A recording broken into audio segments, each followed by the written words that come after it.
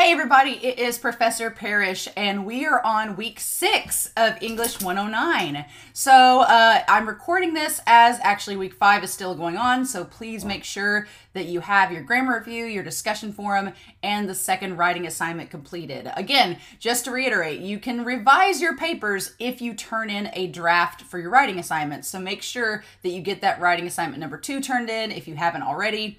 That way you can get uh, those points and chance to revise if needed. But we're going to talk about week six. So we're nearing the end of the semester. We only have three weeks left after this one. So it's rounding out. We've got about a month left of class.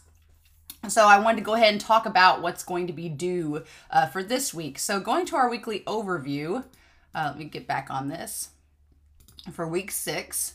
Um, all the assignments are going to be due on the 20th by 11:59 p.m. on Sunday. So we've got this video that you're watching now. Um, the only thing to read in our English textbook is chapter 8, which is about narration. And so we'll be talking about that and the outline and thesis for it. But narration is, I think narration for students is the easiest paper to write in this class because it is the one that students are most familiar with. It's talking about your own experience. You don't have to do any research for it. It's a pretty standard paper. And, I, and by this point in the semester, everybody's gearing up for finals. We're gearing up for Thanksgiving, for holiday, if you're going home to see family or friends.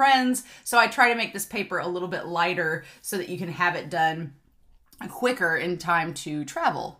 So that's kind of the reasoning behind it by doing it so by so late in the semester. But we've got uh, your discussion forum number six, which we'll go over here in a second. We got your thesis outline for paper number three and then your textbook activity number four. So there's three assignments this week. So it shouldn't be anything crazy, but let's go ahead and talk about that discussion forum.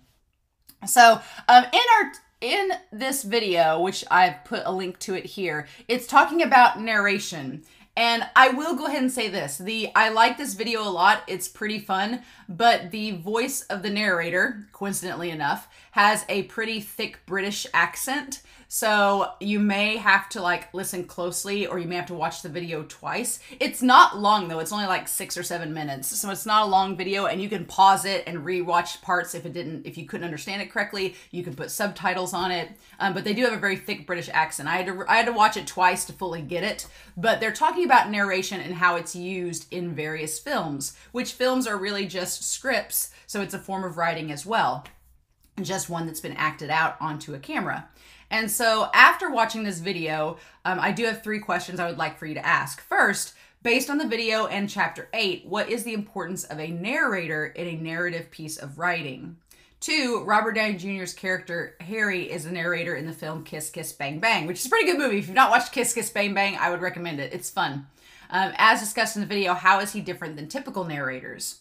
And then how could you use narration or a narrator in your own writing assignments? So I think that's pretty important as we go into the paper about narration. How would you plan on using a narrator or a voice of perspective in your actual paper? So You've got that discussion forum, uh, your posts, and then three responses. Uh, so far, everybody's responses have been pretty good. Um, if you've been wondering why I've taken off points from your discussion posts, it's probably either for grammatical reasons, um, but everybody's grammar grammar has been pretty good. It's mainly been because some of the responses, like I said in week one, um, just a one sentence response isn't enough because these posts are due so are worth so many points. So I may start getting a little bit more critical on those. Some of you that are just writing one sentence responses, that needs to be a little bit more detailed.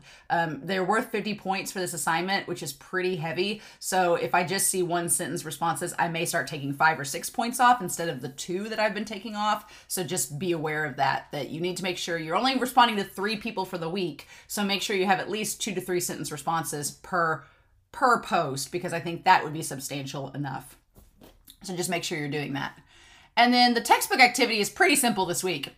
Pretty simple. So uh, for this, I have, you know, for number one through four, it's a non activity. In chapter six, describe the four bases of writing in chapter six and define them. So, chapter six talks about bases of writing. What are they?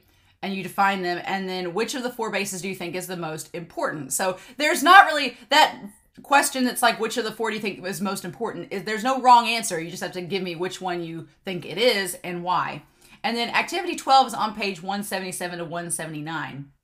And so you're going to read each passage and choose the, the best, the option that best describes the base that the passage does not effectively apply. So, of those four bases that you identify from chapter six, which is not applied the best in each passage? So it's a pretty straightforward, quick activity, but I want to do it with you all to identify if you can, one, know what the bases of writing are, because it's going to be on your final exam. You should know it. And then two, being able to identify them within writing. So otherwise, it should be a pretty straightforward assignment. And then finally, we have our writing assignment, which is your thesis and outline. So far, everybody's thesis and outline, for the most part, have been very, very good because you're just saying your topic and you're just giving me an outline of the points you're going to touch base on. So if I click on the guidelines for writing assignment number three, basically we're doing narration. So this can be a story that is about yourself. It can be about a friend or family member. It can be about a community. Um, when the May 8th storm came through here in Southern Illinois, I had several students the following semester write about the experience of people in their community during that time that is totally acceptable. I've had people write about themselves and experiences they've had, whether it's been anything from broken bones to childbirth to a family vacation gone wrong to a sports team like winning the state championship. I've seen all kinds of stories. And I think this paper is a lot of fun because you get to write about something that you're not only familiar with, but that you find engaging and that would make a good paper. So the assignment needs to be three full pages, double spaced. It can be longer if you choose so, but your points for this paper are going to be based on your introduction and conclusion, the content, the grammar, and the page length and formatting. You don't need any works cited for this because it's all from experience. So that's kind of the bonus, right? And then your outline, your writing prep should look something like this. It should have your introduction. Your thesis should go right here and then you'll tell me the points that you're talking about. And if you have any sub points, you can list them as well. I usually put work in progress here for conclusion because most people you don't know how your paper is going to end. But if you do, you can write some some brief notes here if you want. That's totally up to you. But um, but I just want like a brief skeletal framework of how you're going to write your paper, just so you have it to go off of as well. All right, and that's pretty much it. So I am really excited about narration papers. I find them very interesting because they kind of speak to you, the student, and what you're interested in talking about. So, but that is week six. And you can go ahead before we end this video. I want to go ahead and show you Thanksgiving week because I know people travel, they go see family and friends. So I just want to give you guys a heads up about what will open up. This will open up November 13th. It will unlock at 12 a.m. for you to go ahead and start if you want to on your Thanksgiving assignments. So, um, the week seven overview basically, you have two assignments for that week for Thanksgiving. You have a writing assignment three, which is your narration paper, and a grammar review. I'll talk about them in next week's video, but they're not going to be hard. so, basically, it's going to be you turning in your narration paper and doing a very quick simple grammar review. And I, I hate to assign things over Thanksgiving break. I hate to do that, but it was either it was either give you four assignments this week or give you four assignments the following week. And I was like, I don't want to do that. I, I did it one week and I was dreading it. So I would rather give you these two short assignments, get them done before you travel, or do them like the weekend after Thanksgiving when you're in a food coma. and then that way you'll already have them done. But that way you didn't have to be overloaded this weekend or the weekend after Thanksgiving because the weekend after Thanksgiving is the weekend before finals week. So I didn't want to overload you for that either. So there are two assignments for Thanksgiving week, but if you want to go ahead and do them, you are welcome to. So um, just make sure that you do your thesis. I would say before turning in your narrative paper, make sure that I've read your outline and thesis for paper three because I've had students in the past that did this assignment and then immediately turned in their narration paper and for some reason their topic and outline didn't work and they had to go back and redo it. So just to be safe, make sure you can go ahead and do the grammar review, sure.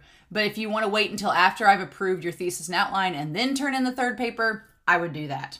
All right. But as always, if you have any questions, please let me know. Uh, I hope you all have a wonderful week. Please stay safe, take care, and I'll be back very soon with week seven, Thanksgiving week for English 109.